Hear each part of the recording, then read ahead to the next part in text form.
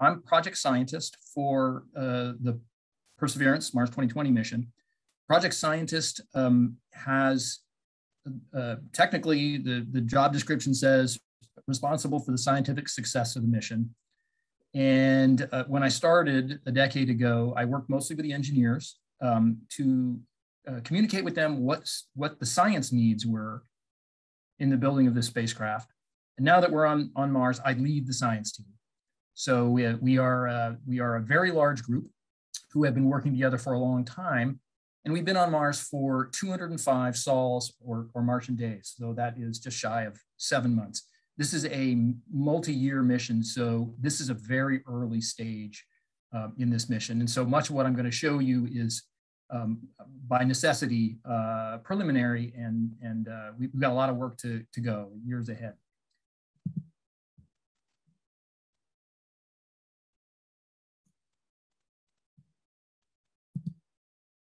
Um, I want to make the point that this is a, a really huge undertaking with a lot of scientists and engineers uh, working together for a very long time period. And I want to acknowledge um, the huge efforts of so many people, especially during the pandemic.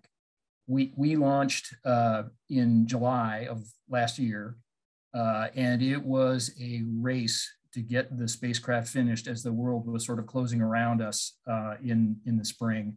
It's a remarkable team that got us to launch pad uh, and got us to Mars and is now um, successfully operating the rover. So, so big credit to lots and lots of people. And I must say, this is very different from anything I've done as a, as a scientist before. It is, it's really fun to work in a, in a team of a lot of people um, doing something really great together. What I want to do is, is start with the, the thing that everybody is sort of captivated by uh, initially, and that is the landing. Uh, landing a spacecraft on Mars is enormously challenging. Uh, the spacecraft has to uh, slow down from about four kilometers per second to a complete standstill uh, in just a matter of a few minutes. So it is it's a it's a fascinating uh, event, and this time, for the first time ever, there were cameras mounted in multiple places uh, on the spacecraft during entry, descent, and landing, or EDL. So I want to roll the, the video, which uh, assembles uh, the landing from the different vantage points that we had. And I'll start with this uh, orbital image, which shows the landing site. I'm going to tell you a lot about this uh, over the course of the evening. Uh, but what you're looking at here is a delta. I'll talk about how that forms if, you, if you're not familiar. For scale, this is about one kilometer across. And there are features that you will see in the video that I want to point out. The first is the delta. You will see the cliffs of the delta. These are about 100 feet high, 40 meters high. You will see uh, this crater that we call Hahuza. And you will see this very strange um, region here it has a kind of the shape of a mitten uh, with, these, with these corrugations on it. This is a region called Séítah.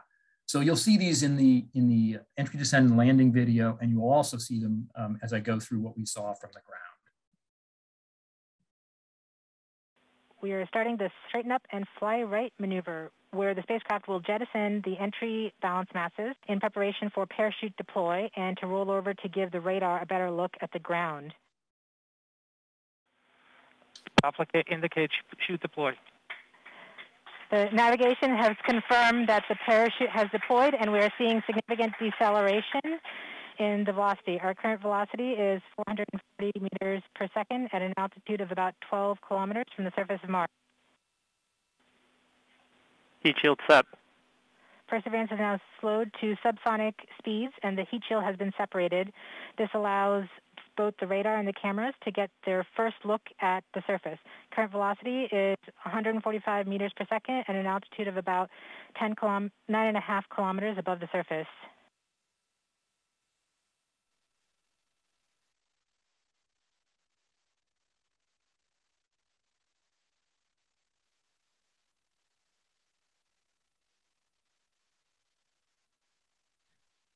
Your first view of the delta. Velocity solution, 3.3 meters per second. Altitude, 7.4 kilometers. Now has radar lock on the ground. Current velocity is about 100 meters per second, 6.6 kilometers above the surface. That's the Delta and Hahutsa crater and Séítah President right in the is continuing to descend on the parachute. We are coming up on the initialization of terrain relative navigation and subsequently the priming of the landing engines. Our current velocity is about 90 meters per second at an altitude of 4.2 kilometers.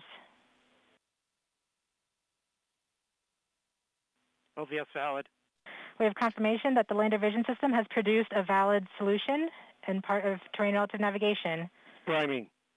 TBA is nominal. We have priming of the landing engines. That's Hahuza.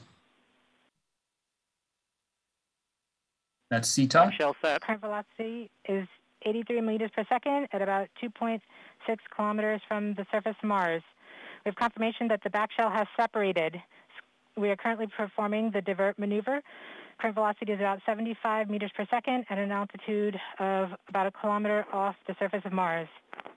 TRN safety Bravo. We have completed our terrain relative navigation.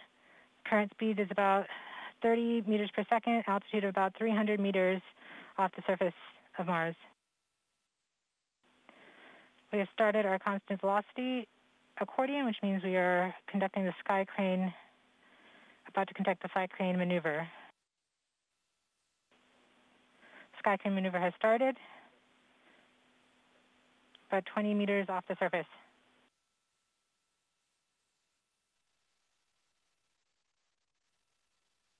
We're getting signals from MRO. Tango Delta. Touchdown confirmed. Perseverance safely on the surface of Mars, ready to begin seeking the signs of past life.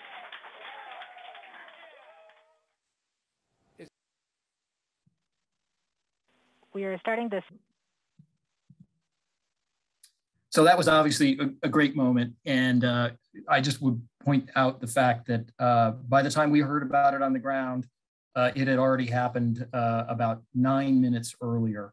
And so uh, the, the whole control room is, th- there's nothing that anyone can do. The, the spacecraft is flying itself and we learn about whatever happened nine minutes later. And I'll tell you, that is a very strange experience to be standing around waiting impatiently to get information on something that has happened quite a while ago.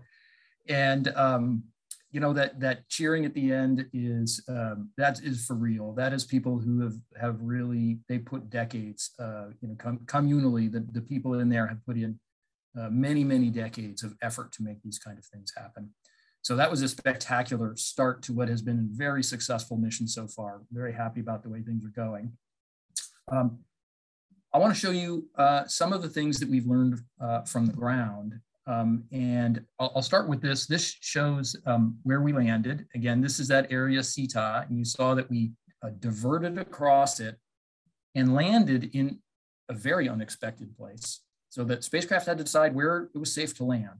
You can't land on boulders, you can't land in a sand dune, you can't land in a crater. And so it had technology on board to avoid uh, those features and, uh, and it just does it by itself. And it picked a place that was, as you will see, perfectly flat. But interestingly, it was very, very close to um, deadly terrain. This area here would be death from the sand dunes, or likely death, and this would be likely death from boulders. And when I show you the picture of this, um, you will understand why I say this would this would have been a bad place to land. There are lots of boulders there. So we landed at this place here um, which we called Octavia Butler Landing after the author. And this is actually an orbital image showing the rover. So that's the rover. And these uh, light patches and kind of butterfly wings that you see there, um, that is where the descent engines, the thrusters, blew the dust off of the surface and, and exposed a lighter colored material.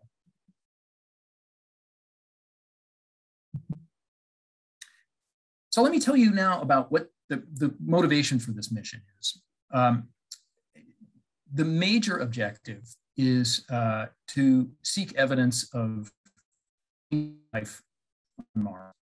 And there's a really specific reason why I said it the way I did. We are looking for ancient life, not modern life and or extant life.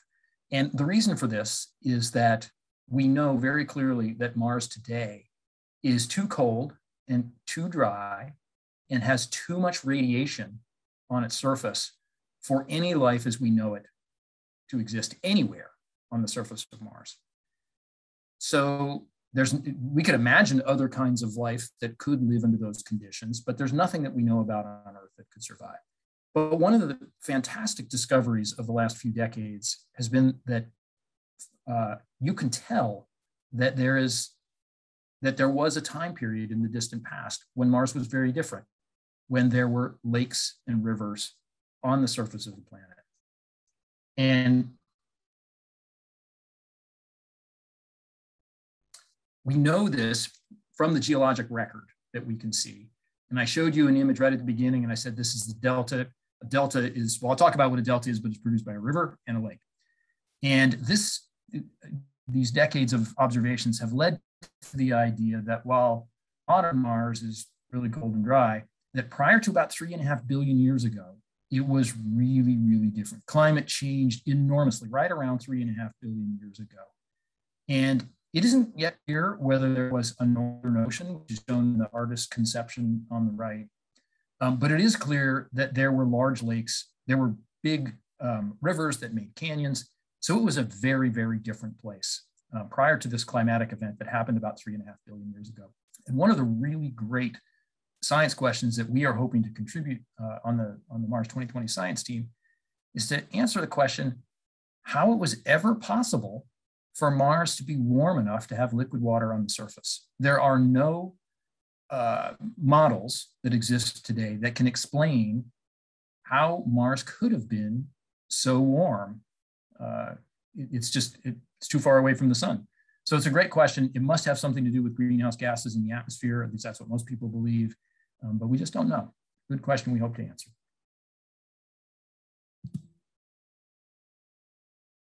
So at this time period, three and a half billion years ago, the surface of Mars was really different. It had lakes and rivers. And I told you we wanted to look for evidence of possible Martian life. And this tells you why we want to look in the distant past, why we want to look for ancient life, because then there were lakes and rivers, and life as we know it needs liquid water.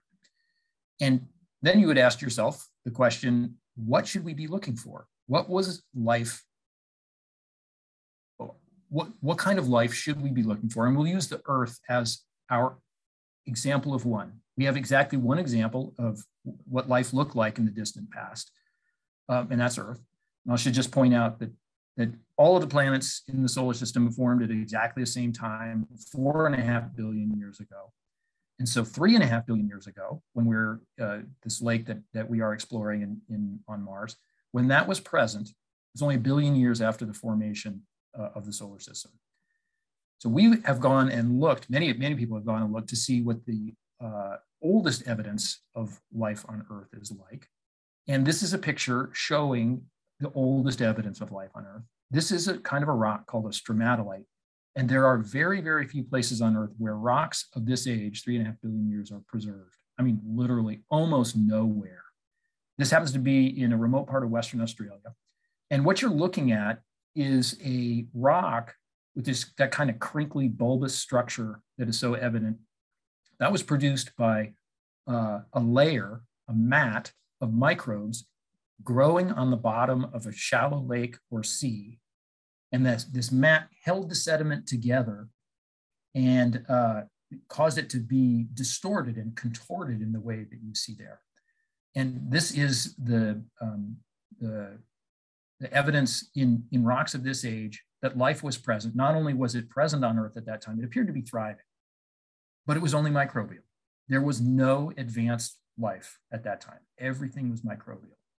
So using Earth as this as the analog, the example of one, if we are looking at Mars three and a half billion years ago, we should expect to see that life had only advanced far enough to be microbial. I don't know how great an assumption that is, but what other assumption could you make? That's, that's just the simplest thing to assume.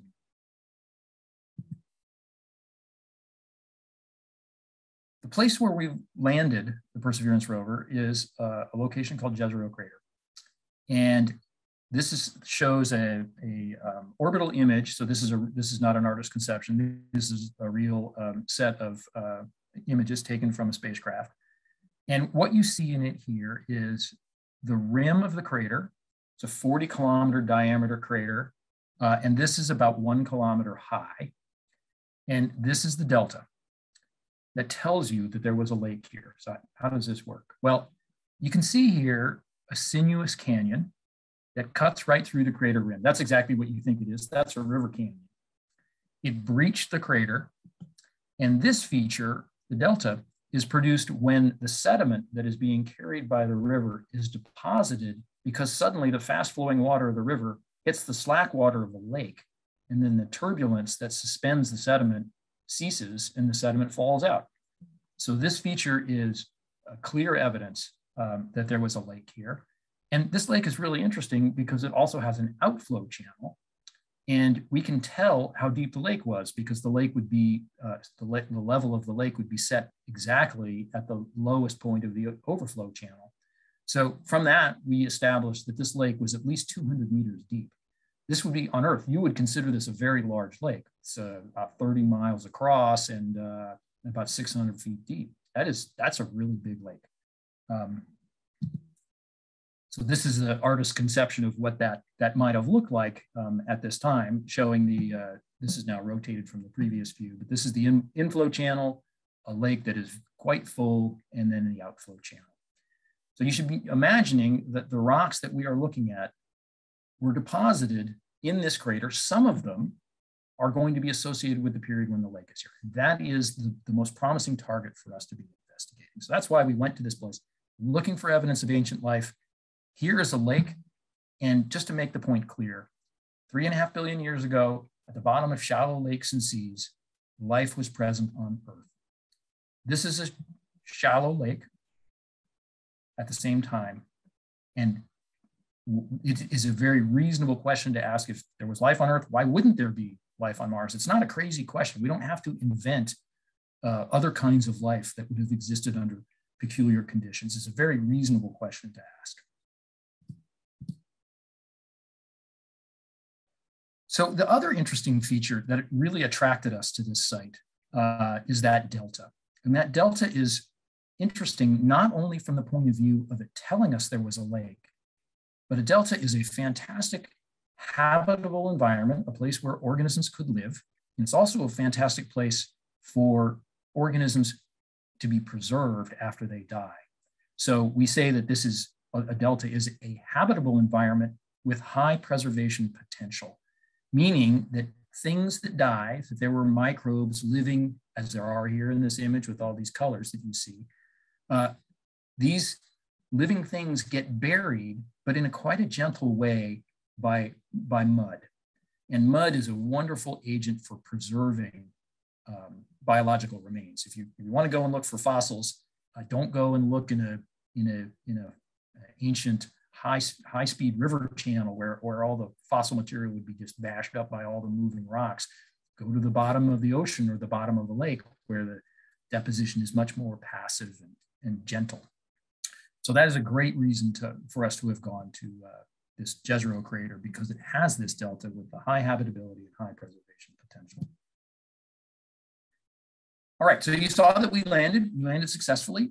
Uh, this is um, a, uh, a, set of images that uh, we acquired within the first few tens of days after landing. This is a very, very complicated piece of hardware uh, with many mechanisms that have, after they have landed, they have had a, they've had a long and arduous journey. Uh, they they launched through the Earth's atmosphere. They traveled through the vacuum of space. They did entry, descent, and landing. Uh, so the first thing we did is we checked everything out, and there were so many different things that needed to be checked out in a very specific order. Uh, we, we spent uh, tens of days um, doing things like wiggling the wheels, making sure that they were doing the right thing, um, here we have the robotic arm with a, a, set of instruments on it. And I'll tell you a little bit about more about the drill that's on here. So this is just checking, checking everything out. Meanwhile, we were also taking lots of images. And this is one of my favorite images. If you look to see here, uh, look closely here, you will see that the tracks go to right here and then they stop. This is the fabulous evidence of the way we landed, uh, which you saw in that video. We gently put the rover down on the ground and then the, the uh, descent stage, which is the which is the thing with the rockets on it, it flew away and left the rover just standing totally by itself. So literally the rover looks to have come from nowhere. Just, just appeared and started driving. And I just, that's very cool. One of the things that we did right at the beginning is test out new technologies. This, this is one of the uh, objectives of the mission uh, to uh, what they call enable the future. This is a NASA expression, enable the future by demonstrating capabilities that future explorers on Mars could use. And one of the capabilities that we carried with us is a helicopter. So you see this helicopter um, executing one of its first, in fact, I think this is its first flight. Uh, this is not a little tiny drone. Uh, the Mars atmosphere is so thin, 1% of the density of Earth's atmosphere at sea level. These blades need to be enormous. So the, the, the blades are almost three feet across and there are two counter-rotating blades. If you look closely, you can see both blades. Fantastic success. This, this helicopter was designed to fly six test flights. Uh, it just completed its uh, 13th flight and um, is, is going, going strong. So uh, it's, it's, been, it's been great. And we are now using this helicopter uh, to survey and to do reconnaissance in places the rover hasn't been to yet or possibly can't even get to. So this has been a really nice addition to the, um, to the spacecraft.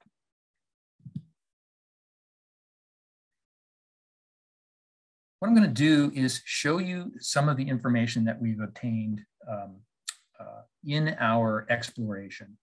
And I should say that the, in addition to testing the, uh, enabling the future, these testing these new technologies, um, we have three main goals. The first is to explore the geology of the landing site. In other words, to look at the rocks and try to understand what they tell us about the ancient environment. What was, the, what was that lake like? Are all the rocks that are on the bottom of the lake, are all of them associated with the lake? Are there other things in there? And if so, how did those other things get there and what do they tell us? That's the first thing. The second thing is to look for habitable environments, places where microorganisms could live, and to actually look for the presence of biosignatures, things that might have been left by ancient organisms. So for example, we have the capability to look for organic matter. And organic matter is a, is a it's not a unique indicator of life, but it is a strong, um, has the potential to be a, a, a compelling biosignature under certain circumstances. And then the final goal, and the one that is really the, the major objective of this mission, is the rover is going to collect about 35 samples of rock into individual sample tubes and hand them off to another mission, which is coming uh, later this decade. And that, that uh, additional mission will bring the samples back to Earth to be investigated in terrestrial laboratories. And I'll tell you how all of that is actually going to work or how we think it is going to work. Um, uh, but the main point is that there are so many interesting things you can do with terrestrial laboratories on rocks that you bring back from Mars, including making definitive determinations of whether life was present in those rocks that you just can't do with a rover. So there's a very strong rationale to go about bringing samples um, back from Mars to Earth. And by the way, it is also a, um, a low risk way to test technologies that could someday bring humans back and forth to Mars. That's, of course, never been done before. Nothing has ever been launched off another planet and brought back to Earth. And so one low risk way to go about doing this is, is to bring back rock samples instead of humans in the first, in the first attempt. So what I'm gonna do is I'm gonna show you what we have done so far. And I wanna use this image to set the context. I'm gonna show you first uh, an image, a set of images from the Delta front. So, so remember I mentioned that these cliffs are about 100 feet high and this is where the, the river was um, flowing out into the lake and the sediment was falling out. So I'm going to show you a picture from the delta front and from this little um, hill here, a kind of a, a butte um, called Kodiak. And, and what Kodiak is, is an erosional remnant. This feature used to extend much farther out than it does today, and it has eroded away. So this is like a little island um, that was once part of this structure we obtained images uh, of this area very shortly after landing, and it was our first, wow, this is really interesting. Uh, so I'll show you those. And then I'm going to show you um, information from our traverse from Octavia E. Butler Landing. I'm going to show you some pictures from here. And I'm going to show you pictures from where we are right now at this locality called Artuby Ridge. And remember, this is about one kilometer for scale.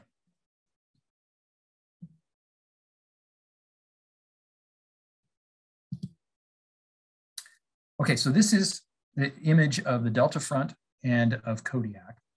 And I'm going to start with Kodiak because this one is, it's just beautiful. This is my favorite image of the entire mission. It's just so, it's just a fantastic, clear image.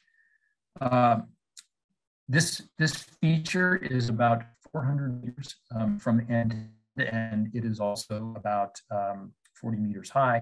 And I hope you can see that there are a lot of layers in here. Some of them are flat, some of them are sloping.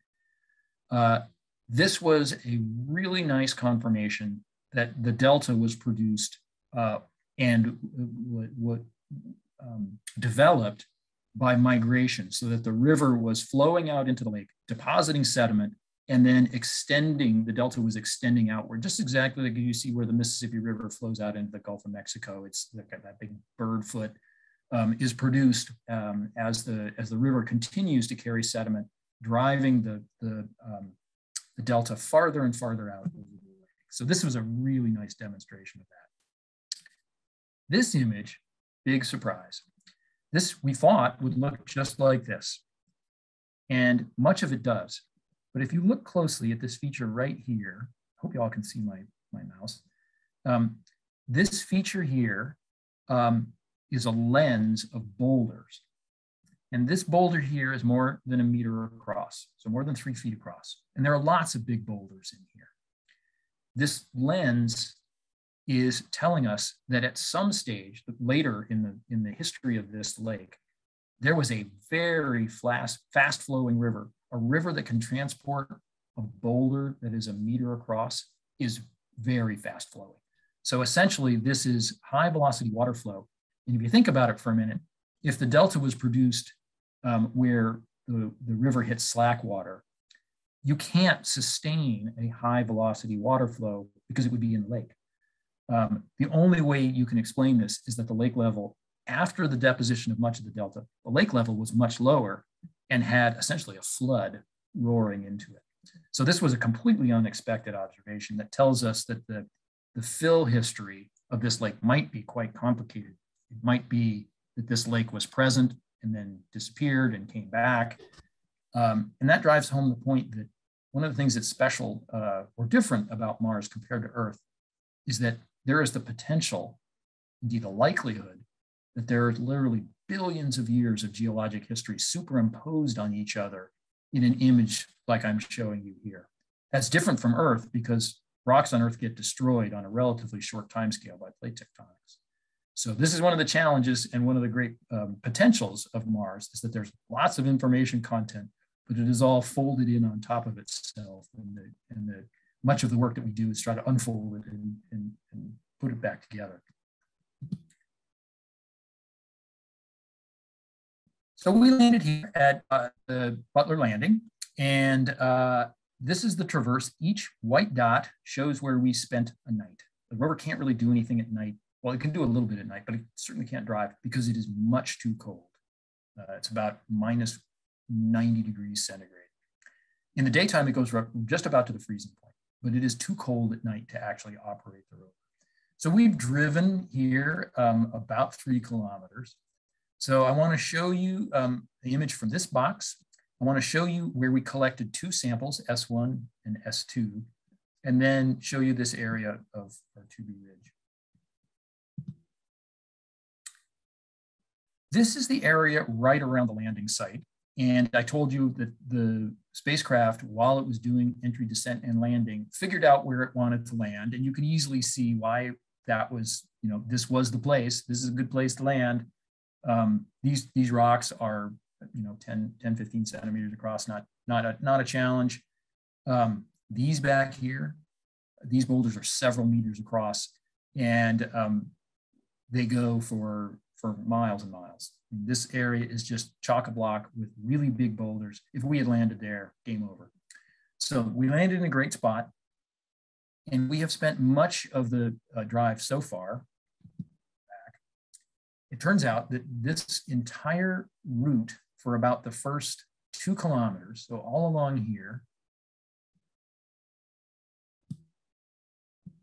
looks basically like this. It is these, what we call the paver stones, sometimes we call them the whale backs, um, these little, little low rounded nubbins sticking out of the ground. And then in the background, these giant boulders. We got very interested in what these rocks are. One, the, the basic way that you, uh, remember I said that one of the goals was to uh, interpret the geologic setting here. Um, the way you do that is you look at the rocks with cameras to see if there are features that tell you what they are. For example, is this a sandstone? Is it a, is it a lava flow? Uh, well, we drove along that entire length and we didn't see anything that told us what it was, what these rocks were, because they are coated with things. Obviously, they're coated with sand and dust here. This discoloration that you see, the kind of yellowy color, is dust. When there is no dust on the rocks, they're kind of gray. But it turns out even when they are not dusty, they are coated with other things. That's just uh, we don't know exactly what it is, but but it could be something that is analogous to like desert varnish. Makes it very hard to see into the rock and learn what it is. Um, nevertheless, we were very interested in um, uh, exploring what was inside of these rocks and also collecting a sample. And when we got to the locality at the end of that traverse called S1 that I showed you, uh, we decided that we were ready to actually uh, abrade away the surface of the rock and see what was beneath that coating that I mentioned. So we have a tool that goes in the drill, and I'm going to you'll see a little video of how this uh, basically works in a minute. But um, it's a it's a disc with teeth on it, and we uh, deploy that onto the rock, and you see the um, uh, abrasion uh, patch uh, that we made by grinding into the rock. Uh, this is about three inches across. Um, it was taken on a rock that looked kind of like this. So those are those paver stones that I mentioned here. They're a little kind of rubbly looking, which turns out to be important for something I'm going to say in a minute. But when we pulled back and stuck the microscopic camera out over this patch, oh boy, this is not what we expected. this was another great moment. And one of the one of the fun things about um, uh, the, NASA Mars missions is all of our images get put onto a website where you all can see them at the same minute we can. Uh, it's, it's basically hardwired. The, the, the pictures come in, they go to the internet and they go to our, you know, our, our consoles at the same time. When this image came back, we were very surprised. Uh, this, if you if you uh, have any geologic training, you will you will almost certainly have seen rocks that look like this. Um, uh, these are crystals of um, uh, various minerals. This looks like uh, a lava flow. This looks like a basalt, and in fact, it looks like a basalt that cooled slowly enough to make big crystals. We did not expect, uh, we, we, most of us thought that this was going to be lake sediment. This is not lake sediment. This looks a, a lot like a lava flow. But it's more than that uh, because these holes that you see here and, and this brownish material and some of the whitish material, that's all alteration. So we have chemical data. We have a, a, suite of instruments that identify both the minerals and the elements that are present here. And it's very clear that this uh, rock has interacted with water for a long time. It's basically rusting away. So the brownish material is iron oxide. Um, minerals are dissolving and making these holes. And the whitish material is salt. So it looks like there was a period when there was water here, rusting the rock away, weathering it away. And then there was a period when the water dried up and left salt behind. Very exciting. This is, yeah, on Earth, this would be a habitable environment. If you uh, look at in the groundwater table where there are rocks experiencing the same thing on Earth, they're filled with microbes. So we haven't seen anything yet, but this is early days. We did this uh, only about, I think about five weeks ago, and we're still working through the data. I told you that we are tasked with collecting um, a suite of uh, about 35 rock samples. And uh, now I want to tell you about that. Each of these 35 rock samples um, is about the size and shape of a piece of chalkboard chalk and weighs about 15 grams. And each one is drilled directly into an ultra clean sample tube. Ultra clean because we don't want to contaminate the samples with earth sourced, for example, organic matter. So the way this works is a sample tube is inserted into the drill, which is mounted here on the robotic arm. And I have a video that shows you how this, how this works.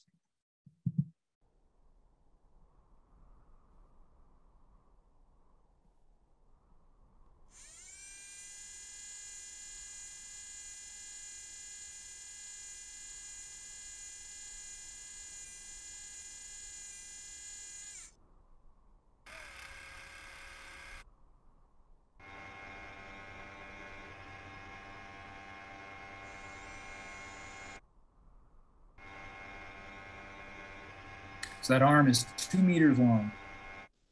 And the turret on the end weighs 40 kilograms.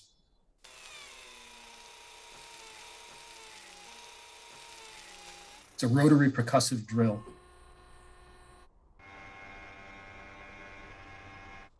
So we collect the sample and then we ingest it back into the rover to process it in an incredibly sophisticated piece of robotic hardware. That yellow thing is the sample tube.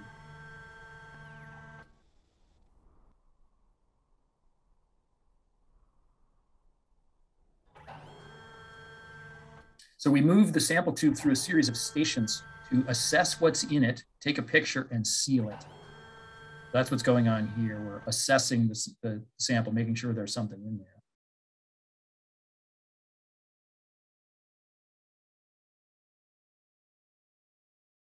And then we stow the tube back in the place where we got it from in one of those little, they look like uh, little beehive chambers. So the tube goes back and gets stored in there. And every one of those little little uh, holes is, a, is another sample tube. Drive off. So that was the artist's conception of how this was going to work.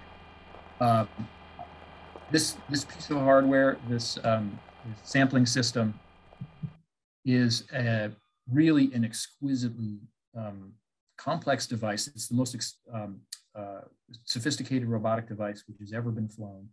And just to make the point, this has to work in a dusty environment. There's lots of dust everywhere. When you grind on a rock, it makes dust. Um, and it has to work without a technician um, going to fix it. And uh, there was a lot of thought, years of thought that went in how to, how to do all of this. Um, and so there was a lot of trepidation um, the first time we tried this um, in the end of, at the end of August. Um, what you see here is that same abrasion patch that I showed you a minute ago. And here is the, um, the core hole. So you're looking at the, the mound of tailings around the hole. Here's a close-up image of it. And the day we did this, we all knew it was going to be, it was a big event in the history.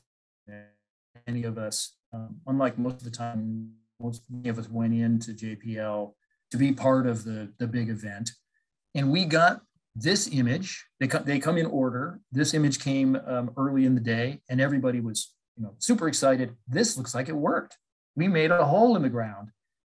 And um, there were no indications of any faults. The, the, the, robotic system is filled with error trapping. If anything goes wrong, it, it basically stops. And there was no indication that anything went wrong. And we were all at the point of cheering that, you know, yay, we got our sample. It wasn't quite like EDL, but we were still pretty excited and ready to cheer when somebody said, well, wait a minute, there's nothing in the sample tube. So here you're looking down into the sample tube and you see the bottom and you see a few little specks of dust. I will say this was an incredibly deflating moment. Um, to have the robot robotic system work apparently flawlessly with no sample in the tube. Um, turns out what's happened here um, after we did a little bit of literally looking to see if the sample had fallen out on the ground, we We backed the rover up and took a picture below it, looking for the sample core. It was nowhere to be found. Um, what happened here is that this rock is so weathered that it's, it's friable. It basically falls apart into little bits of sand and dust. And then it falls out the bottom of the tube, such that the tube is empty. So this was uh, a, a no sample recovery. This is not a huge surprise. Um, rocks on Earth would do this too. It's a well-known thing. People that try to take cores of rocks, they fall apart. Uh, so what we decided to do is give up on this particular rock for now. We're going to likely come back to it, but for now, let's go find a rock that's harder.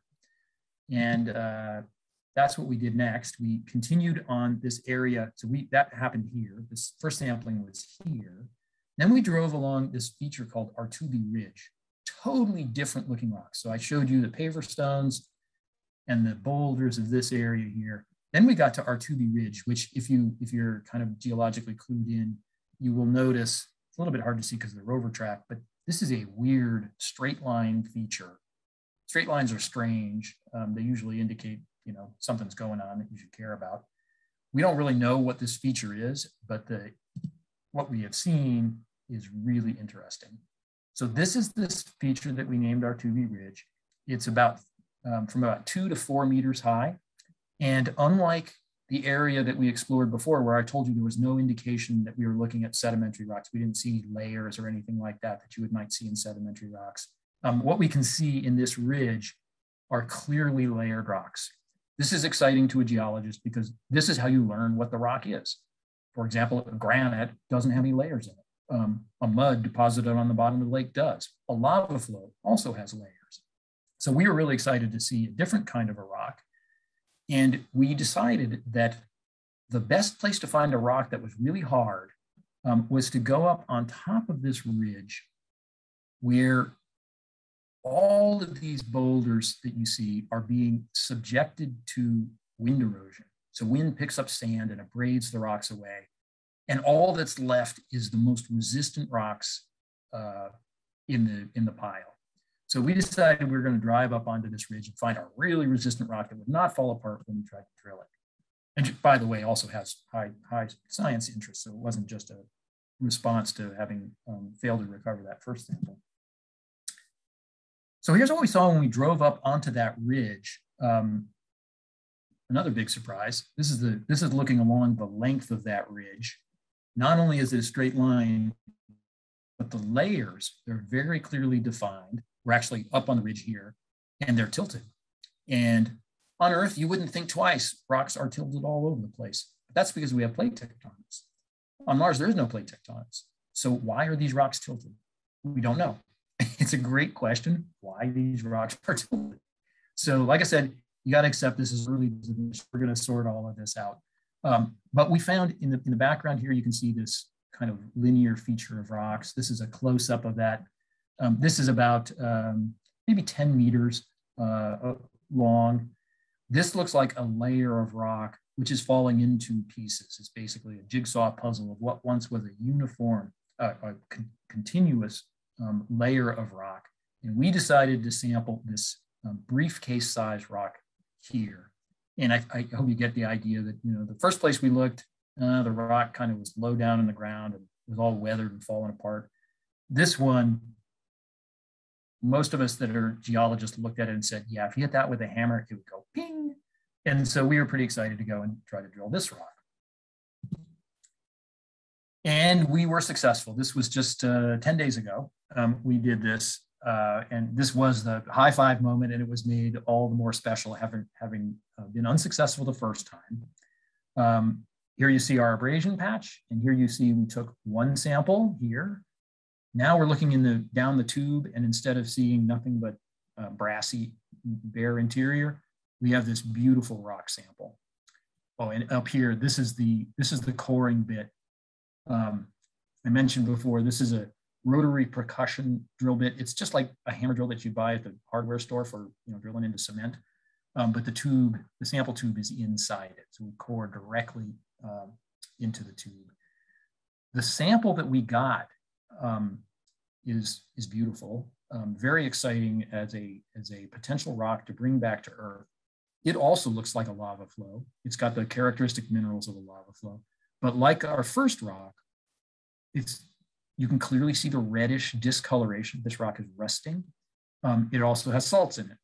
So this rock has lots of um, history to it, uh, first as a lava flow, and then as a rock that was probably sitting in groundwater for a long time. And um, so this rock was successfully uh, cored, sealed, and stowed in the rover. And we took a second sample for reasons I, I can get into if you're interested in the, in the question period, but we took a second a second copy uh, of this rock. So these are our first successful um, uh, sampling attempts on Mars. And so we like to say we have now started the, the Mars sample return effort. Um, and let me uh, then just um, say a couple of words about uh, what the deal is here with um, Mars sample return. Um, the Mars 2020 mission is not capable of bringing these samples back to Earth. Instead, Mars 2020 is the first in a notional three mission campaign to bring samples back. And this, this may seem very strange, so I wanna, I wanna work through why, why it's being done this way. So the basic idea is you start with a very capable rover, and I emphasize it because it needs to rove. And we have a plan, which I'm gonna show you in a minute, to rove tens of kilometers collecting samples. Very different than any other rover mission that has been on Mars to, to go in planning to rove tens of kilometers. Um, we also have very sophisticated instruments to help us pick the right samples. So that is our job on Mars 2020, collect the samples into those tubes. And then we hand the samples off to a follow-on mission. And right now, there's a, the plan is for a pair of follow-on missions that are being jointly uh, developed by NASA and the European Space Agency. Uh, the two missions are a um, Mars ascent vehicle, basically a rocket, that lands on the surface, and potentially also a fetch rover, a small rover that can go and pick up the samples that Mars 2020 collected. So I, when last we talked about the samples, they were inside the belly of the rover. At some point, the mission will put the samples down on the surface to be picked up by a future mission. This is, many people are puzzled. Why would you ever take, you know, put them out of your possession? Well, there's a really good reason. If the Perseverance rover gets stuck in the sand or, or dies with the cargo on board, then there's no way to get it back out. So what we do is a very simple um, uh, idea we put down what we call a cache or a depot. We take our collection of samples and we set them down on the ground in one place uh, that then are a target to be picked up by this fetch rover. And then it doesn't matter. If Mars 2020 is, is functional, it can go off and collect more samples and bring them to the depot. If it's not functional, doesn't matter. The samples are on the ground and they are a target for this, this future fetch rover. In any case, fetch rover picks up the samples, puts them in a um, soccer ball sized container we call the orbiting sample, which is a nose cone of this rocket, fires it uh, into space where you have this now in orbit orbiting sample. And in what strikes me as being a remarkable thing, apparently one can capture something the size of a soccer ball um, orbiting around a planet. So there's a, um, an orbiter that captures it and brings it back to Earth. So this is the plan um, that uh, NASA and ESA are working on right now. Lots of very complicated details that need to get worked out. Um, but this is coming towards the end of this decade. And if all goes according to plan, samples will be returned to Earth um, in the early 2030s, possibly as early as 2031. These samples are um, going to be really interesting in that not only do they record lots of information about the history of an Earth-like planet, a rocky planet, um, from a very distant time period, the rocks all around the landing site we think are in the vicinity of between four and, and maybe three and a half billion years. On Earth, you will find almost no rock of that age for the reason that I mentioned earlier. But we will bring back from Mars lots of rocks um, from that time period. So that'll be really interesting. But even more interesting is for the first time, the scientists of the future will have to grapple with the question how do you look for life that may be different from our own? What, what techniques would you use? Nobody has ever had to do that before because nobody has ever had a sample that might have had life different from our own in it.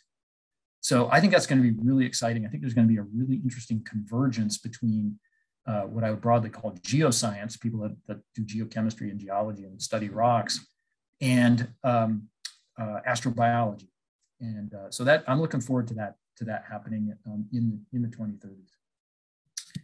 And then my final slide, I just wanted to show you what we are thinking that we will likely do. Of course, You know, it is a, it's a voyage of discovery at some level. We're not really sure exactly what we are going to do. But we landed here and we knew that we could not get across this feature called Séítah. The sand dunes are just too big. You don't want to land there. You don't want to drive there. It's just a no-go zone. And interestingly, our major target initially was to go to the Delta because that's the place where we, as I mentioned earlier, that's the place that seemed very habitable with high preservation potential. Unfortunately, we have this big block of sand dunes in the way. So there were two ways we could get around it. We could go uh, clockwise or we could go counterclockwise. Uh, I think very likely we will go around this way. It turns out this drive is, is very treacherous through, through sand dunes and very slow. And one of the neat capabilities that Perseverance has is a, is a very sophisticated um, artificial intelligence capability to do long distance driving and keep itself out of sand dunes and, and related hazards. So I think we're going to drive really quickly around this way, go to the Delta. This will take about the first year of the mission. The second year of the mission is likely to be up uh, studying the Delta. And then the final year of the, of the prime mission um, will be in this area here um, where there are possible and then ultimately, if the mission has an ex extended life, there's a decision that is you know up to the up to the how well the rover behaves and also whether NASA continues to support us, um, we will drive up the crater rim and explore a completely different environment um, up in this area. Uh, so that that's what I want to present. I'm uh, very happy to answer any questions you have.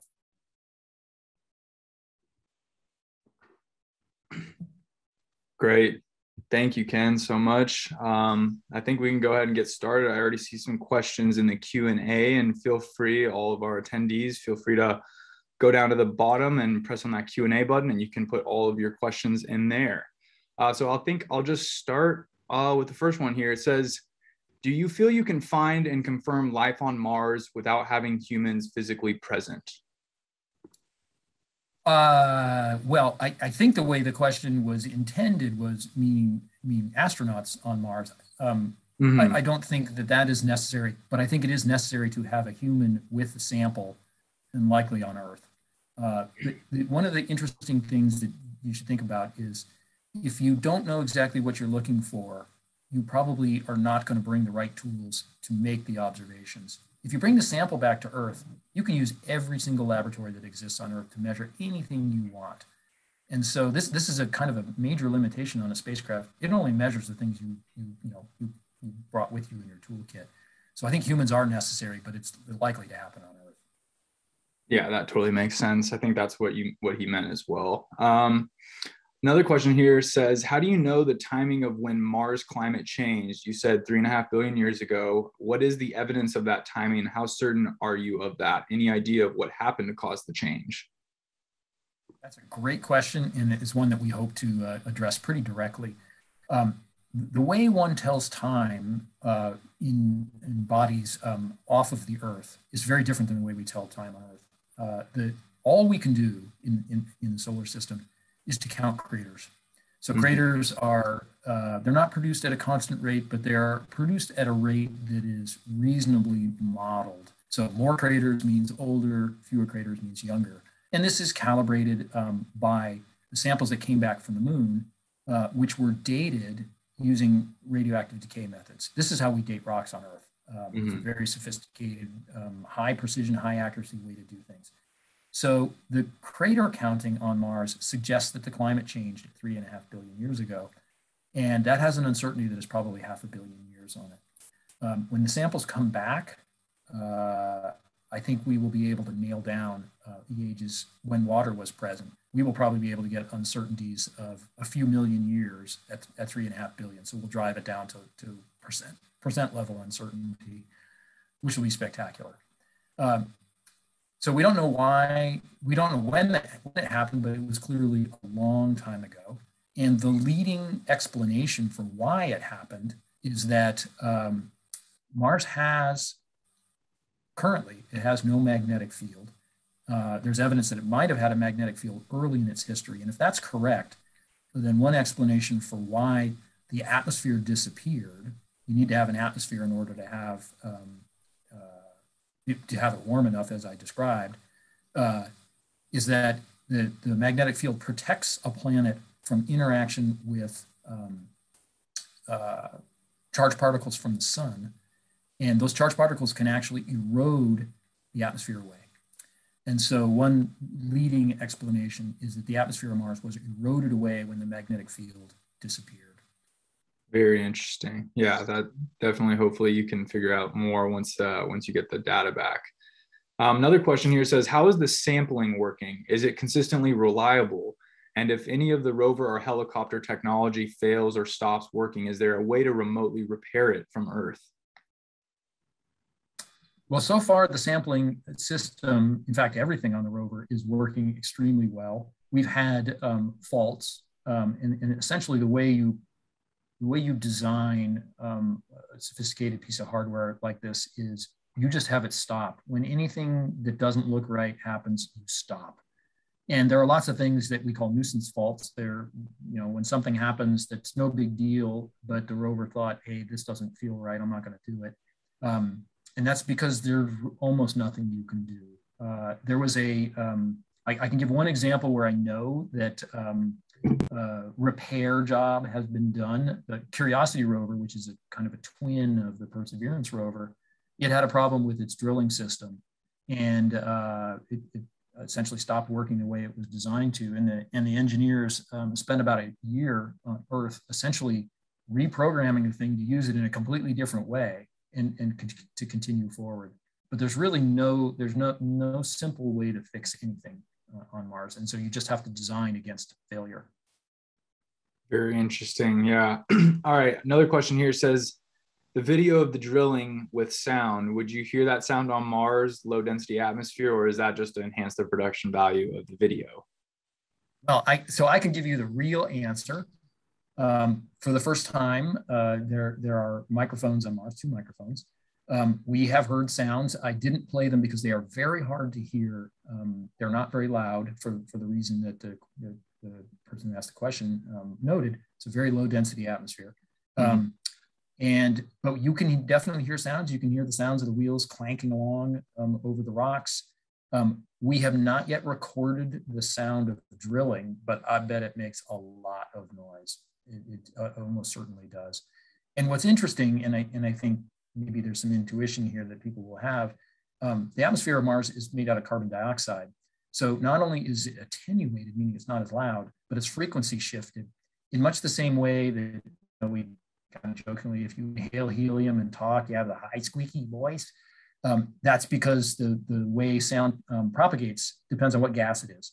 So um, we have recorded sounds, we've recorded wind, we've recorded the, the sound of pumps in the rover. And if you go to the Mars 2020 website, those recordings are posted. And uh, we, we will continue to record different sounds. Um, and just, in, just to make a point, that we have not yet recorded the sound of drilling because we haven't yet uh, convinced ourselves that there is no interference from using the microphone while you are drilling. And you might think that's strange, like how could using a microphone possibly affect the drilling? And I would probably agree with you, it probably doesn't you don't risk the spacecraft saying, well, I don't think it'll matter. So you just don't do it until you prove that there is no risk. And so one of the things we have to do before we start recording the sounds of the, of the drilling is to make sure that it's safe and it's not going to interfere with anything and cause more problems. Yeah, no, that makes sense. Don't want to risk anything of that nature. Um, another question here says, do you have any instruments on board that would allow you to perform basic analysis of the samples? Yeah, good, good question. Um, we made a decision in the development stage that we would not touch the samples with our science instruments on board the rover. We don't want to contaminate them. We don't want to modify them. And, and most kinds of techniques um, would do one or the other, uh, if not both. And instead, we adopted that strategy, which I, um, I didn't, I didn't uh, close the loop on there. We abrade the sample and expose a surface we do our geochemistry on that surface, and then we collect right next to it a pristine sample. Mm. And in that abraded patch, we have the ability to determine what elements are present, we can determine um, what minerals are present, and we can look for organic matter. And we've only done that, we only have the two abrasions so far. And that this is what allowed us to say these look like lava flows um, and that there are salts um, in there. Um, but beyond that, we haven't even yet uh, processed the data we got in the last few weeks to really understand what all we've got. That makes sense. Don't want to contaminate it, so you take two different samples. That's awesome. Um, another person here just says, please repeat why there are no three to four billion year old rocks on Earth. Oh yeah, yeah. Um, the uh, so the Earth and Mars formed four and a half billion years ago. Undoubtedly, rocks were present on on the Earth at that time, but over relatively short periods, hundreds of millions of years, there's plate tectonics that destroys rocks. So what that means is that uh, rocks get subducted, um, they get covered, they get metamorphosed. So the Earth is a very, very active, geologically active planet um, that has that has uh, destroyed rocks over its entire history. Um, whereas Mars does not have plate tectonics, and so the rocks that were uh, present at you know three and a half billion years ago are still there. Great. Um, got another question here. It says, I believe you you've mentioned this, but maybe you can expand on it. It says, what speculative hypotheses may there be regarding how it, it was that Mars had liquid water? Yeah, I think the question is, how was it ever warm enough for there yeah. to be liquid water? Mm-hmm. And um, the there are really two two classes of ways to, to do it. One is to say it was transient, that the water was present for only a short period of time in which case it's possible that you could have water after, say, a comet struck Mars. And, and you might think, well, that's a very low probability event, but uh, you know, you've got billions of years to, to do it in. So even if it's low probability, it still can happen. So if a comet comes in, it delivers water to the planet, um, and you have a transient, dense atmosphere that, that warms up through greenhouse warming, um, and it's literally just a, a, transient event might last a few tens of years and do all of that um, ge geology that I mentioned, where you have the you know, formation of canyons and you have formation of deltas. Um, the other possibility is that the, the atmosphere was, was maintained in some longer, for some longer duration um, with a composition that allowed uh, substantial greenhouse warming. And so much of the work right now that is being done in, in, modeling is to try to understand what greenhouse gases are available in the Martian atmosphere um, that wouldn't react away. You can't just put any gas in the atmosphere. If it reacts with the rocks, for example, it disappears. Um, and so those are, those are the two ways that one could imagine it working. And one of the things that we are really interested in exploring uh, in Jezero Crater is any evidence we can get for how long the water was present the, the kind of comet model that I mentioned a few tens of years, uh, it is almost impossible to imagine that the weathering that we saw in that rock, that rust, salt, it's almost impossible to imagine that that could be produced in a few tens of years. That looks like a much more extended period, but um, you know, we need to we need to work further on that. See if we can add any additional constraints on it. Very interesting. Um, another question says here Do you think we'll learn about Earth's history from older rocks that we find from Mars? If so, what could we learn? Yeah, good question. Um, this is one of the motivations in, in the um, in the way that we talk about sample return. Much of the focus is on looking for evidence of ancient life, and that is a um, that's a great goal. But it also has the potential that we will find nothing. In other words, we could we could look at these rocks when they come back to Earth, and we could say, no, no evidence of life there. Um, and that might be considered a, a disappointing result. Um, but all the samples can be studied for many, many different important questions. And, and this is one of them. What were rocky planets like early in their history? Mm. And as an example, it is almost certainly true that both Earth and Mars were once entirely molten um, in what we call a magma ocean phase um, during uh, planetary accretion. So four and a half billion years ago, when the planets were growing, uh, the, the gravitational attraction of all of the bits of the solar nebula that made the planets, all that gravitational energy uh, caused the planets to melt. Um, and uh, the record of that on Earth is completely gone. There's no evidence for that because those rocks have completely disappeared. And Uh, but on Mars, there's the potential that s- some of those rocks are still present. And uh, we'd very much like to know how that process works. So that is an example of how we will learn about Earth. The other is um, going back to the life question. Uh, I, think in the handful of truly profound scientific questions is the question of the origin of life. Mhm. And there is really no consensus in what environment life originated. And we will never know on Earth, in my opinion, we will never know where life originated on Earth because there is no rock record from that time period. The oldest rocks that, that, um, that have been studied show evidence of life in them on Earth. Um, therefore, we are not going to be able to find rocks that predate life in this, in this kind of prebiotic environment. So if we want to understand the environment in which, in which life originates, we're not going to be able to do it on Earth. Now, Mars is, of course, a different place, um, but if, if there is a, um, there is the potential that we can see these um, prebiotic environments. What was the surface of the planet like um, during the time when life was originating? Wow. Yeah, that's that's very interesting. We have a another question here. It says, "Did you say there is currently no tectonic activity in Mars? Do we know if there ever was tectonic activity, and if so, roughly how long ago do researchers think it stopped or subsided dramatically?" So the, the InSight mission, which is a lander that landed on Mars a few years ago, um, has a seismometer and it is recording um, a small number of earthquakes, uh, indicating that there is some activity inside of Mars.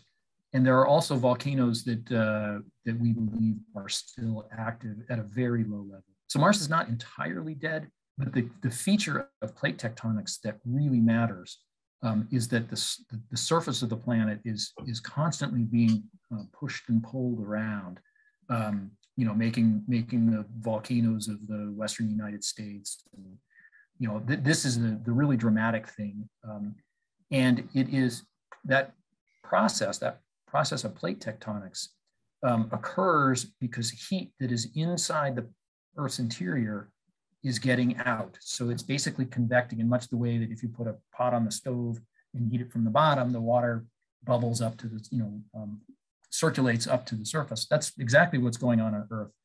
Um, Mars has cooled off. as a smaller body. It has cooled off. It doesn't have enough energy uh, to drive that anymore.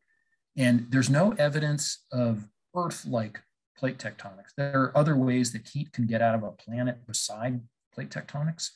And on Mars, uh, one of the clear ways that, that heat has gotten out of the interior um, is this enormous volcano called Olympus Mons. It's the, the biggest volcano in the solar system. Um, so it, there are processes that have occurred, but basically the planet has cooled off too much to drive a lot of um, activity. That makes so the cold weather is what leads to it then. Um, another question here says, what is the helicopter doing? The helicopter had as its, its goal um, was to do a set of six test flights. It aced the six test flights, uh, made it look super easy. And uh, the decision was made by NASA to extend the helicopter um, to not, not just demonstrate that, that controlled helicopter flight was possible on Mars, uh, but to um, do what we call an operational demonstration to show how you would actually use it. And so the science team is in, involved with the helicopter team, and we're using it for reconnaissance. Um, we send it out ahead of the rover to look for places that are safe to drive and to look for interesting outcrops where we can um, send the rover. That that's a, seems like a very useful tool. Then that's awesome. Um, another question here says, is it theoretically possible to retrieve the entire rover from the surface rather than a soccer ball sized item in space? Uh, it is definitely uh, theoretically possible. And um, just to sort of put this in context, um, the uh, few kilograms of that soccer ball uh, is it is a it's a big ask. The, the missions that are being built uh, to follow Mars 2020, they have to invent a lot of new stuff, including the rocket. Um, but ultimately, if humans are to go to Mars, or at least if they're to come back, um, we have to be able to lift things that weigh a ton literally a ton. The, the, Perseverance rover weighs almost exactly a ton. Um, that will be small compared to the amount of mass that we need to come back with uh, astronauts on board. So there are definitely a lot of thinking about that, but that technology is, is still in the future. Makes sense. Makes sense. Uh, another question here says, what are the limitations on determining the composition of adjacent geologic uh, samples by spectroscopic spectroscopic equipment? Sorry, not quite familiar with some of this language. um, yeah, I'm not sure I understand exactly what the question is, but we do have um, uh, a variety of different techniques that are that are spectroscopic, and um, meaning that we use photons, we use light. Um, and uh, I, I, think this question might be getting at is when you um, uh, take an image, uh, a, a, certain region, a piece of rock, um, sends its photons to the camera, and you, you get a mixture of the different minerals that are present um, in, in, indicated in the photons that come back. Essentially, the same thing your eyes tell you from different colors that you can see the different minerals are present. Um, we you know we're sorting through that that is a, that's a challenge but we are you know we're able to use the um, techniques to separate out the different constituents that are present makes sense makes sense um, another question here says does the rover have special equipment to free itself if it gets stuck or even if it were to get turned over? Oh boy. Do not turn the rover over. Rule number one don't turn the rover over. Um, uh, there's nothing that um, we could do in in you know sort of catastrophic event like that. And, and so you just stay away from places where you might have trouble like that. So we stay away from steep slopes and we are very very careful never to put all six wheels in the sand and there a lot of testing has been done uh, with the, the perseverance rover and its twin the curiosity rover that show that as long as you keep several of the wheels on rock you can get yourself out um, but uh, this is a, this is the way that uh, an earlier rover, um, the Spirit rover, was lost. It, it, not in sand, but in, in dust. Uh, so one is very, very careful about driving in sand. Wow. Don't turn over the rover. That's funny. I like that. Um, Nobody's ever asked me that before, but I'm, I'll pass that on to the engineers. Please do not turn the rover over. That's great. Um, question here says, would you expect the relative abundance of elements and their isotopes in, in the Mars samples to be similar to that on Earth? Really good question. Um, because it allows me to, to, to uh, this is, this is what I do. This is my, my, my, my personal science. Um, and uh, essentially everything in the solar system uh, was built from the same building blocks. All of the planets um, were built from the same building blocks. And what that means is that they will have the same elemental abundances and to a very good approximation, uh, the same isotopic composition, except for those elements which are modified by major processes. And let me give you the one example, which is really compelling here. Um, we know from the analysis of meteorites that have come back from Mars. So meteorites are, are uh, knocked off of the surface of Mars and some of them come to the Earth and also from the Curiosity rover that the water that is presently on Mars is very, very enriched in the heavy isotope of hydrogen. And this is a strong indication that something happened to, allow some of the hydrogen, the light isotope of hydrogen in preference, to escape. And so that is one of the pieces of evidence of this atmospheric loss is uh, water that was present was um, separated so that the, the light hydrogen went off into space and left the hydrogen that is left behind, the deuterium, the heavy isotope of hydrogen, highly enriched. So there's a, there's a lot of really interesting science that one can do by looking at um, subtle variations in isotopic composition. Very interesting. Um, another question here says, what is the estimated lifespan of the rover? Prior rovers have outlasted their initial predicted lives many-fold.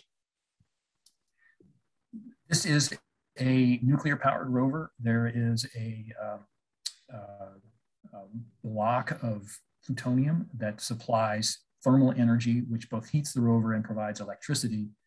And it is expected to last um, tens of years uh, before the um, radioactive isotope uh, dissipates. However, the, the system is likely to stop producing enough energy to drive the rover um, in something like 15 years. Um, the, the, Curiosity rover, the twin, still going strong. It landed in 2012, so it's been on the surface for a decade. Um, so it, it's likely that uh, speaking optimistically, it is likely that we will continue for that kind of time period. That's great. Lots to do on the surface of Mars. Um, another question here says, how do you ensure that there is no cross contamination of Mars environment by microbes from Earth? Yeah, okay. Another great question. Uh, it's important um, from a scientific perspective for Mars to stay pristine. If we want to understand what Martian life could be like. Now, it's, it's so I, I, I, told you the story that this, the surface is not conducive to life as we know it. And if you listen carefully, you would see every time I said that, I said the surface. Um, there could well be life of the type that we know below the surface. For example, in a groundwater table uh, that is sufficiently deep where you know it's warm in the interior of the planet. Um, one of the things that uh, the scientific community decades ago, when Viking flew in the in the 1970s, the scientific community said, we cannot contaminate Mars if we ever want to find anything other than our own life on that planet. And this led to, to the concept called planetary protection, um, which means that all spacecraft that go to Mars uh, are um, sterilized is a strong word, but they are cleaned to a very considerable extent such that the probability of any Earth life arriving intact and living on the surface of Mars is acceptably low. Um, in the old days, this was relatively straightforward. In the Viking days in the 1970s, they, they took the entire spacecraft and they put it in an oven and they heated it to 300 degrees. Um, can't do that today because so many things are made out of plastic. Um, plastic does not like being at 300 degrees. Um, and so we used a combination of heating things that could be heated and then wiping off surfaces with things like hydrogen peroxide, um, so a lot of effort was made to keep the spacecraft clean. Wow, never even thought of that. That's pretty wild. Um, another question here says, "What are the typical what what are the typical temperature and wind conditions on Mars?" Well, typical and is you know just like on Earth, it varies all over the place. Um, but where we are in the season we're in right now, which is uh, summer season, um, as I said, it gets up to around the freezing point during the day and it cools down to um, about 90 degrees below zero centigrade um, in the nighttime. And that is a gigantic uh, temperature fluctuation. This is actually, interestingly, it's one of the things that causes the greatest stress on the, on the spacecraft, on the rover, is just the thermal oscillation. The things expand and contract and expand and contract day in, day out, day in, day out. And and this this ultimately is is a is a failure mode for for parts. They um, they just weaken from from the thermal stresses. Um, wind velocities. Um, I, I, can't give you the, the, details. I don't know um, the wind velocities. I, I, will tell you though that um, we've taken lots of really interesting um, uh, still images as well as videos of both dust devils and dust lifting events, and many of them, for me, they're very uh, they make me feel like, hey, this this planet's not that different from Earth. It looks like a windy day in the desert. You see the you know the, the dust just blowing across the landscape. So we've landed in a very um, it's not unusually windy, but there's apparently a lot of dust that is getting lifted by the wind, um, and so we can just see the you know the wind blowing the dust blowing across the landscape. Wow, that's wild. Um, that's awesome. Uh, another question here says, if there were rivers, does that assume there was rain or snow? Uh, the, the presence of rivers, at least if they were held for any substantial length of time, yes, would indicate that there was precipitation of some sort. Um, there are there are other ways that you could imagine um, freezing um, ice. Uh, for example, there are places on the moon that are thought to have ice um, that accumulates very very slowly. It's, it's, like having a you know a freezer um, you know, your, your freezer will accumulate ice in it um, over time if you don't defrost it. Um, you could imagine something like that happening. So you, you know, you accumulate ice over long periods of time, and then there's something that causes the planet to heat up all of a sudden. Um, but uh, that's a that seems like a, a real stretch. Uh, mm-hmm. And so I think the, the most plausible interpretation of lakes and rivers is that there was precipitation that fed it at some point. It's fascinating. Um, Another question here says, was the Ingenuity helicopter only for the purposes of testing flight or has it been outfitted with any instruments as well? the helicopter is it, it is a um, it's a very challenging um, device because in order to fly, it has to lift its own mass, and there's a big battery in there to make that happen. And this, this is the big challenge. Mm-hmm. So it doesn't have a lot of lift capacity for scientific instruments. This this one doesn't. Um, it has two cameras. It has what's called a navigation camera, which is a simple black and white camera. Um, and it also has a color camera, which produces high resolution images that, that are similar to what you get off of your cell phone. So that that is effectively a, a scientific instrument, um, but it's a it's a it's a low mass version of a science instrument. Yeah, I imagine that could eventually get become more than that in the future. Yeah. Yep. That'd be the plan. This was the test. Awesome. Um, another question here says, are they using a laser to sample any of the rocks found similar to previous rovers? Yes. Um, like Curiosity, Perseverance has a, a laser um, uh, on the mast, the, the um, uh, mast that stands up in the middle of the, of the rover to give us a, a view out over the landscape. There's a laser there that, that fires laser pulses at rocks as far away as about 20 feet. And um, this laser is powerful enough that it vaporizes uh, the rock surface when it strikes, strikes it and makes a plasma. So that means you separate the electrons from the nucleus. And then those electrons um, uh, fall back, they, they recombine um, with, the, uh, with the nuclei. And the important point of that is that that happens, when that happens, it emits photons. So photons come out and they have characteristic wavelengths for what element um, is in the plasma. And we, uh, um, we have a spectroscopic instrument that monitors what, what the wavelengths are that are coming back.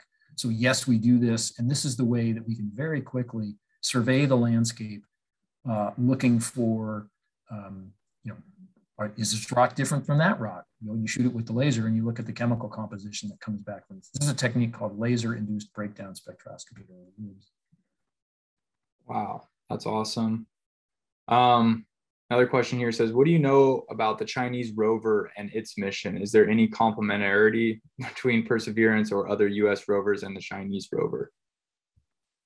Uh, I know very little, and I think I'm in good company knowing very little. There is not a lot of um, interaction. Um, is largely precluded. NASA does not collaborate um, with China on, on space missions. It's just, we just don't do it. Uh, so I don't know very much. Uh, I've seen the pictures, some of the pictures that they have taken, but I don't really know any details. Interesting. Um, another question here says, how do you prevent Martian dust from affecting mechanics of the rover? Yeah, this is a this is a really good question. The, the dust is everywhere, and if you look at um, pictures uh, that include the back of the rover. Many of the pictures we take with the mast will include the back of the rover. And the, the back of the rover is a brilliant white, or it was a brilliant white. And now you will see that it's kind of a reddish tint. It is coated with dust. So dust is falling out of the atmosphere. Mm-hmm. And that causes a, a few problems. Um, the, uh, the most obvious one is you don't want it to get on your camera lenses or any of your sensitive instruments that have uh, apertures for taking in information. And uh, so lens caps got, you know, everything's got a lens cap. Almost everything has a lens cap. Some things that don't, there's a kind of a clever way to keep the dust from landing where you don't want it. For example, we have calibration targets. These are little pieces of material that have known properties, like a known color um, that you want to calibrate your camera with. You don't want the dust on that, and you don't want to necessarily build a complicated mechanism like a lens cap that can move. Um, turns out that the dust, a very large fraction of the dust is magnetic. And so you put right next to your little, little target, you put a magnet that, that kind of sucks the dust away from where you don't want it. And then the, the bigger the bigger challenge is you got to keep that dust out of out of mechanisms. Um, so mo- uh, the mechanisms are sealed against dust, so that the dust cannot get into the you know to the lubricated surfaces, for example. Yeah. Wow. That's yeah. The dust. That's crazy. Um, I know we are coming up here at the end of that uh, 6:30 mark, so I think we'll end on this great question. Um, says, what has been the most surprising find on the mission so far? Oh, well, I, will tell you personally, the biggest surprise was how well the, for me, was how well the helicopter worked. But I, I don't think that's a, uh, that's probably not the way the question was meant. And I just say that because the helicopter, it is, was such a challenge for that thing um, to work. And it has mm-hmm. incredibly well. From a science point of view, um, it was the discovery of that boulder bed in the Delta, which showed us there was a period of flooding. And I think that one, the, the beauty of that one is uh, you look at that picture and it tells you the story. You don't need sophisticated models. We can all appreciate that any any river that can move a, a boulder that's a meter across, that is a ripping flood coming in. And so I, I, like that just from the point of view of A, it's a surprise, and B, it is so simple. You just look at it and nod your head and say, Yep, that must be that must have happened. So that was a, that was a big quick victory for us. Wow, that's awesome. All right. I think uh, being cognizant of everyone's time, I will wrap up here. So thank you everyone for tuning in this evening. And thank you, Ken, again, for taking the time to speak with us. Uh, I think this topic was super interesting for our attendees, and I think they definitely found it fascinating based on all these questions we had. Uh, our next Cafe Sci will be coming up in October, so be on the lookout for the registration link in our follow up email. Uh, and with that, I'll let you all go. Have a great rest of your Thursday evening, and I look forward to seeing you all uh, next month. Thanks.